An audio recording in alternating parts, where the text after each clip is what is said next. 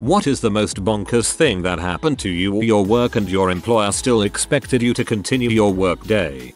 Right after Hurricane Sandy, the bank I worked for had no power for days, so obviously we couldn't do any banking. Rather than just close, my manager insisted that the entire staff show up for shifts as usual, just so we could sit in our normal seats in our uniforms and winter jackets to tell any customers who wandered in that we didn't have power and couldn't help them with anything at all.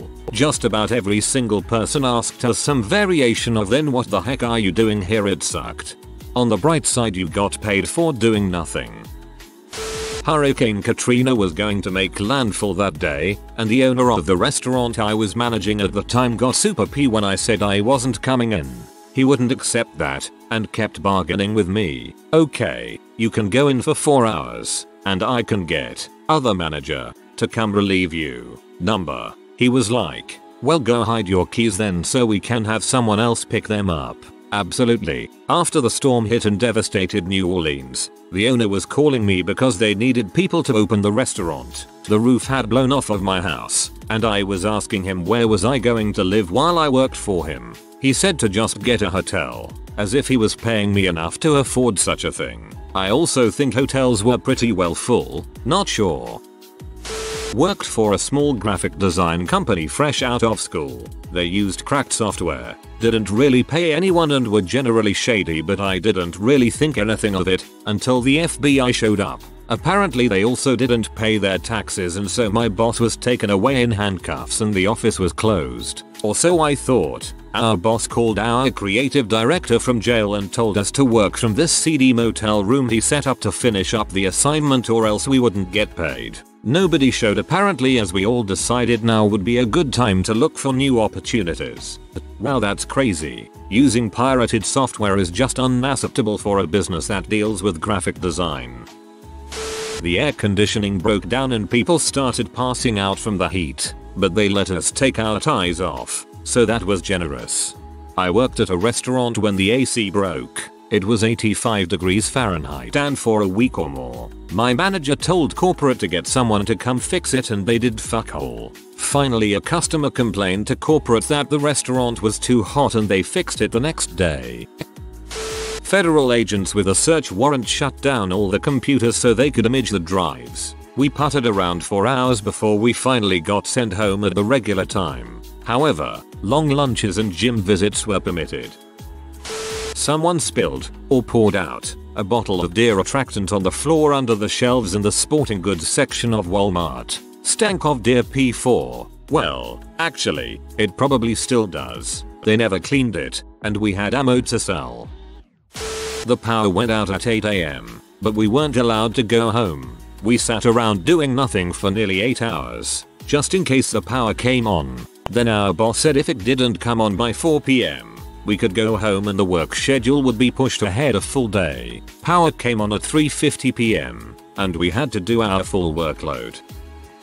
I was working at a pet store and was used to being bitten by the pets we sold. Hamsters, ferrets, birds, no big deal. This day, however, as I was helping a woman who had brought her dog in, it attacked me. Luckily it was a smallish medium sized dog so it didn't get my face, but I had big bleeding holes all up and down one arm. The lady never said sorry, and my manager told me to go to the back, get cleaned up, and come back out and ring on the resistor. So I did, with big blood splatters all over my yellow uniform shirt. I was working at a hotel on the bar and as a waitress. One day a couple of hours before my shift, I started feeling really sick. I have stomach issues but knew it was different. I called and said I was not feeling great. They insisted I come in. My mum had to drive me in because I felt too sick to drive. I worked an hour, got to the point of I'm definitely throwing up and told them I had to go else I was going to throw up on the customers. They told me that they weren't happy and they better see me tomorrow. I had norovirus which comes on really quickly and emailed the next day saying this and that I wouldn't be coming in till 48 hours has passed. They were generally nasty people to work for, cliquey, rude, stole tips, demanding and unreasonable. When I told them about a holiday I'd had booked since before they employed me, they asked for my flight number so they could put me on shift 4 hours after it landed. Then got P when I was late cause my plane got delayed. Well, you didn't want to stay at Amy's baking forever anyway. Automotive painting. Been complaining about my mask parts needing replacing for a few weeks. Finally my mask broke and I refused to paint because toxic fumes were coming into my mask. Being the only automotive painter, work came to a halt. I was told to get in there and paint or else. I pointed at the security camera and asked him to say that again but a little louder. He fired two people that day but I wasn't one of them. I told my employer I was moving across country and that my last day was in 2 weeks. The day came and they called me as I was on the road asking if I was going to come in. I was working in the kitchen at a resort in the Rockies last summer. We had a pretty high grizzly population in the area so when tourists came to stay at the resort we had bear spray that they could borrow if they wanted to walk the trails around the resort. There was a new guy who worked at the front desk who was asked to show a couple of guests how to use the spray in case they needed to. So he slid a lock off and accidentally sprayed a big cloud of mace and basically everyone who was eating working in the restaurant got hit with it because the wind blew it inside. It wasn't so bad in the kitchen but one of the waitresses got it pretty bad and they asked her if she could finish her shift and continued service as if nothing happened. Worked as a cashier at a public swimming pool. Some guy robbed us and took more than 1000 bucks from my register. Note, we were responsible for the money in the register, so while the police sort things out with management and insurance, they expected me to go to the bank, get 1000 euros as changing money and come back to work and end my shift. I quit on spot. That seems highly illegal. When it was hours before Hurricane Harvey was going to make landfall and they were still tentative about releasing us from work so that we would have time to go and board up our homes, stock up on supplies or evacuate if needed. We were blessed by being allowed to leave one hour early. Sarcasm was meant on that last sentence. Yee that was so much fun. I remember filling sandbags at work and listening to the radio as they said it was up to cat 3 after being at a 1 that morning. I was pretty worried I wouldn't be able to evacuate in time. I'd also just moved to Texas and had no idea where to go, which wasn't helped by my dickhead boss saying San Antonio wasn't going to be any better off. Good times. Working in McDonald's. I was supposed to do the overnight shift but I was sick. I mean couldn't get out of bed and throwing up sick. Called that day, hours in advance, to say I couldn't make it in. I had been working there quite a few years so they knew I was competent and would never call in unless necessary. I got written up because they needed me and because the freaking hygiene inspector was coming in in the morning. I couldn't believe it. I quit not long after. I recently got chewed out for calling in sick with the flu. I work in a warehouse and bulk loading bag pouring sugar directly into semi-trailers. Everything has to be GMP so any sort of bodily fluid anywhere needs to be cleaned properly and any sugar gets tossed. I was vomiting and they still expected me to drive 45 minutes to stand on top of semi-trailers for 12 hours and watch sugar flow. I work in a restaurant. One day our oven broke so we couldn't cook any food. The manager made us stay open as we could still sell salad, without the cooked elements, drinks and cheesecake. Total sales for the day were £4.59 pence. That was the cheesecake the manager bought for himself. Bruh, dang.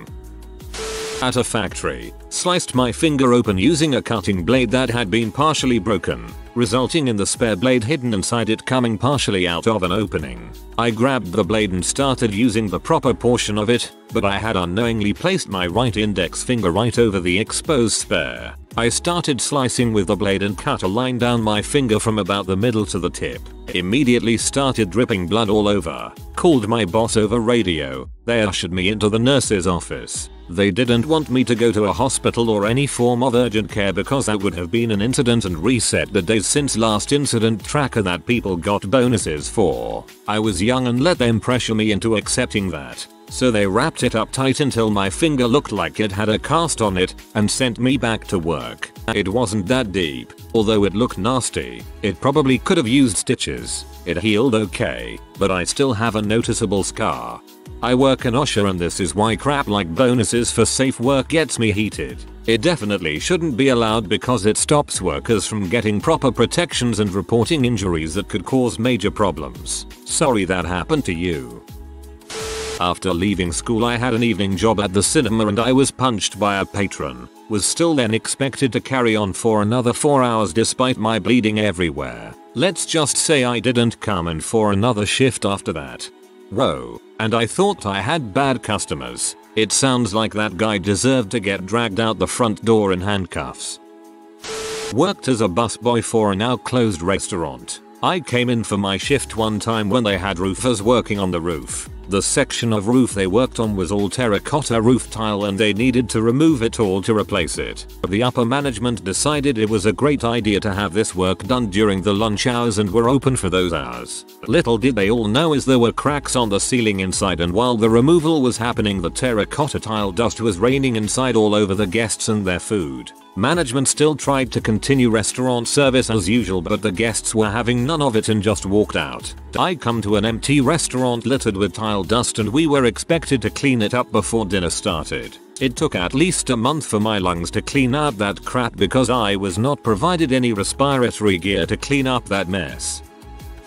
I had been in an accident where I was hit by a van when on my bike. I was on my way to the hospital and shot a quick text to my immediate boss to let him know that I might not be in the next day, as I didn't know what the damage was and how long I may be. He told me to take the day off to be sure I recovered properly. The next day, his boss called me and asked me where the heck I was. I told him I'd been hit by a van and he said, and, I didn't work there much longer after that. Shold yelled and I got hit by a freaking van.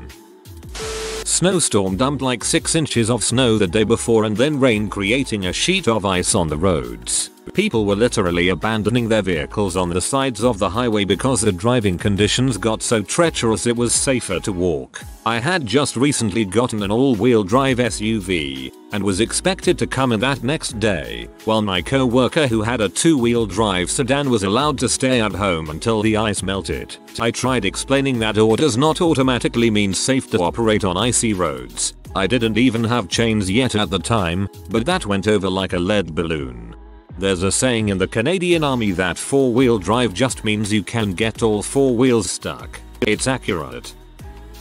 Just a few weeks ago, a toilet on the floor above our three offices, branch of a law firm, got stopped up, then unclogged and flooded our offices with crap. It affected the two lawyers, not me, legal assistant. Their desks and papers were soaked, carpet soaked, files soaked. HQ brought us some fans to dry the carpet, the office smelled like a huge BM. We still had clients coming in. No one was ever sent out to clean or remediate anything hazardous. Mold, crap. Our office is cleaned every two weeks and the cleaners didn't come last Friday, which would have been two weeks since the leak.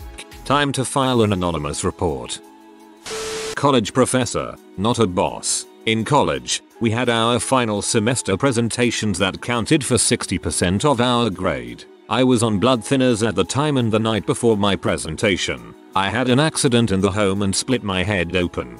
12 hours later, it was still bleeding. First thing I did in the morning was email my professor with an explanation and a timestamped photo of blood running down my face. I asked if I could present the following day instead and said that was not possible without a doctor's note. I had to go to the doctor, pay a $32 copay just so the teacher could write on a note Philip's head will not stop bleeding because of medication he is on. I can't believe I had to write you this note.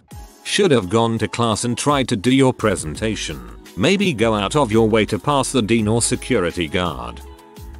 Working in a retail location for a large cell phone carrier, the expectations were always way out of hand. One experience jumps out in my memory. We were the only store in about a 30 mile radius, so we were slammed. All day, every day. It was spring, the rainy season for us, and we got a particularly nasty storm. Roads were flooded all over town. Dumpsters were floating down streets. Tornadoes were spotted 10 miles away. Half of our staff couldn't even physically make it to the store because of the roadways, and they received attendance demerits. I was the manager on duty, calling my area manager to beg to let me close the store while buckets of rain pelted the windows, lightning crashed, and power flickered. He said it wasn't warranted. He lived about 50 miles away. I'm sure he thought I was exaggerating. My staff were having panic attacks from the storm. People were in line for hours and P we were short staffed. Ride it out or risk getting fired. Yeah, I left that job. Sounds like AT&T to me. I worked there and 23 days into my employment I went to the O with a kidney stone. Guess who still got an attendance point? I got a call one day from my cousin saying our house had been broken into. I went home to deal with it and file a police report, and it was honestly so stressful. My supervisor then rang me to ask what time I was planning on coming back to work later in the day because she had paperwork for me to finish. We had temporary offices in an old college dorm that had been declared unfit for students because it had no air conditioning and there was no airflow in the place even with the windows open. Plus my window was directly over the air vent for the college dining hall so I couldn't open it anyway. We were supposed to be out by the summer. Of course that didn't happen. When summer came around the temps in the office were 85-90 degrees with about 100% humidity and dead air. How bad was it? Two of my co-workers had heart attacks and ended up taking early retirement.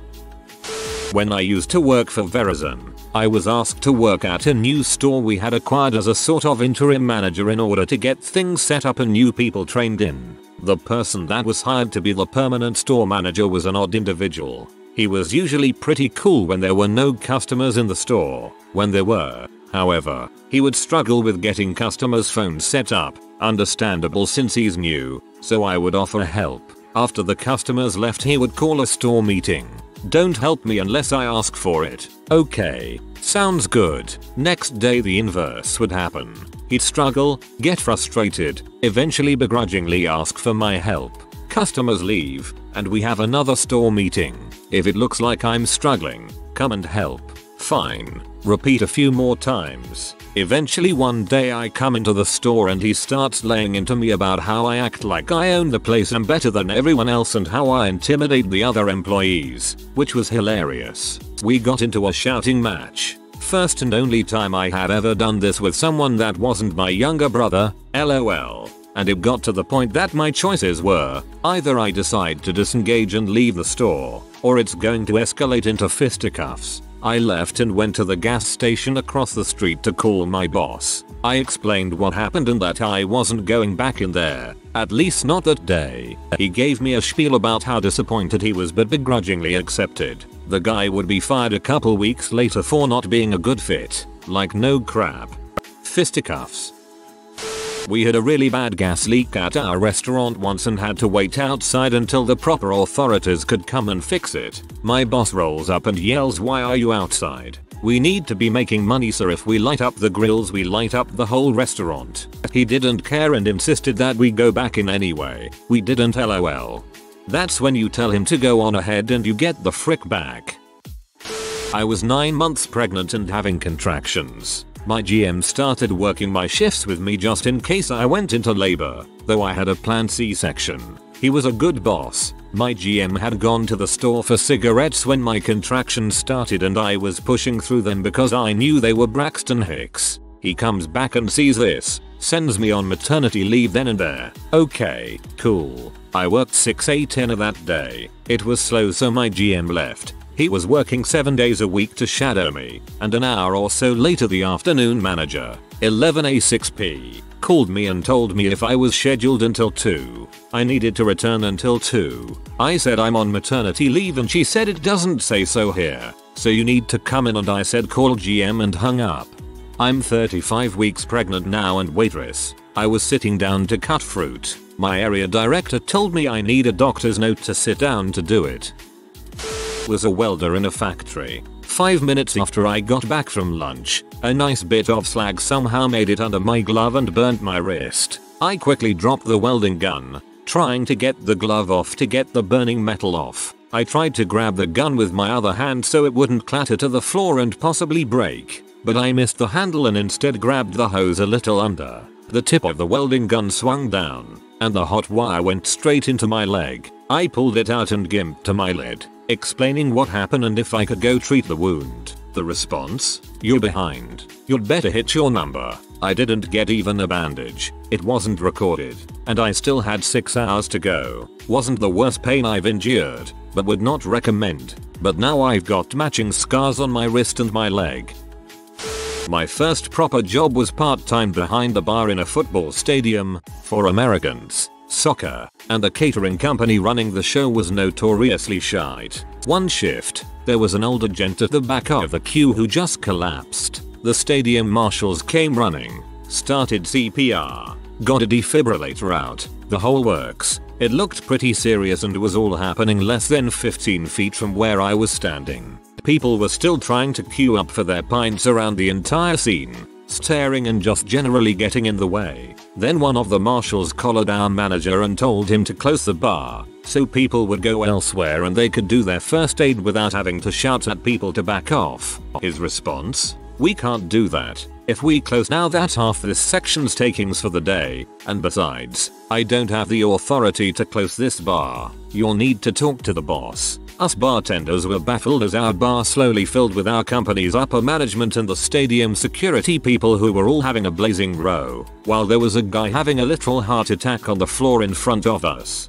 surrounded by the stadium's first aiders, all while footy fans were stepping over them trying to get to the bar before the match started. This was also the first time I'd ever seen someone get actual CPR done on them. It's nothing like on TV, which was mildly distressing as a 17 year old from a tiny boring village but hey, eventually one of the more experienced bartenders just hit the switch for the shutters while the managers argued. Bar closed. Paramedics arrived and took the man off in an ambulance. I don't know what happened to him, but we didn't see three of our managers again after that. We assumed they were let go.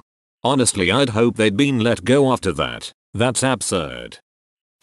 I had to organize a set of folders by color but my problem is I'm colorblind so I told him yo I'm colorblind he thought it was me trying to get out of work and threatened to fire me.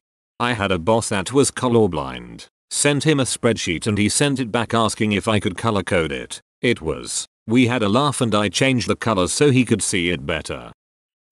I was doing a construction job building houses. As I was walking past to unload a supply truck one of the slanted ceiling tiles came loose slide off the top and hit me in the chest breaking 3 ribs and cracked sternum. I got a text the next day from my boss saying, heard about the accident, you coming in when I informed him I will not and told him of my injuries he replied oh yeah I was told that, you're still coming and though right I need an extra man to mix concrete and clean up trash. You know just light stuff like I could bend down right now. So I again told him no even if I could have I was still doped up from the pain meds they'd given me at the hospital. The final text was right. About 2 hours later I got a call from his wife apologizing and telling me to rest as long as is required and her husband will just have to get off his fat butt and do his own work for a change. I found out he wanted me to work so he wouldn't have to and all those I have a client meetings and I'm meeting with a supplier today excuses were him just not wanting to come and so he could stay home and play video games. When I was living out of state, I got word that my dad, back home, was dying. So I told the district manager of the restaurant I served at that I needed to take a leave of absence for a few weeks to a month and go home immediately. This was in mid-June. Her immediate response was I don't know if I can do that. We're already short staffed for Father's Day. For Father's Day. Not my boss, but my bio teacher. I was a high school freshman in NYC in 2005, 14F at the time. That December, the MTA went on strike for three days, shutting down public transportation. I took a city bus to school, on a half hour bus ride across the borough that went over long parkways and lasted for over 5 miles. My parents didn't have a car, we couldn't afford cabs, and that meant the only way I could get to school was if I walked. But since I was still just a 14 year old girl, my parents weren't going to let me walk across the Bronx over dimly life parkways by myself for 5 miles before the dang sun came up just to get to school. They kept me home for the 3 days of the strike. The strike ends, and I get back to school. My bio teacher proceeds to chastise me in front of my whole class for missing 3 days of school. Yeah, sorry, I'm not getting kidnapped or hit by a car or murdered just so you can do a bad job teaching us about cell structures. I was working at a fast food place and the pipeline going to the sewer broke, making water and sewage back up through the floor drains. I called the store manager to tell him we needed to close. He said just keep the water from going into the dining area. I told him it was already out there having come up through the drains in the bathrooms. He let us close the doors, but made us keep the drive-through open. So we're standing in sewage making food for people driving through. That has to be a health code violation. If you are new to the channel, you can subscribe. I publish new videos every day. Until then, check another video.